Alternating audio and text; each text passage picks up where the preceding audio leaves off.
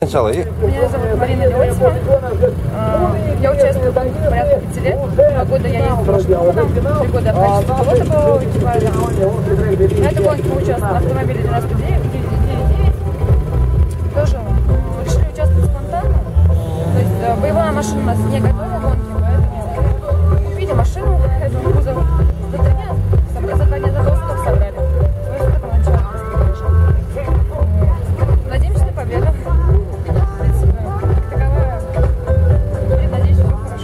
сегодня уже на тренировочных заездах опробовали На трассу. тренировочных заездах я пробовала. А, Там э, трасса, в принципе, отличная, а, но скоростная. То есть э, и могут вылеты быть сразу спокойные. Есть пару опасных поворотов, на котором практически очень многие уже вылетели. Ну, надеюсь, мы проедем. То есть на данный момент у нас машина, конечно, не полностью готова, 50 на 50.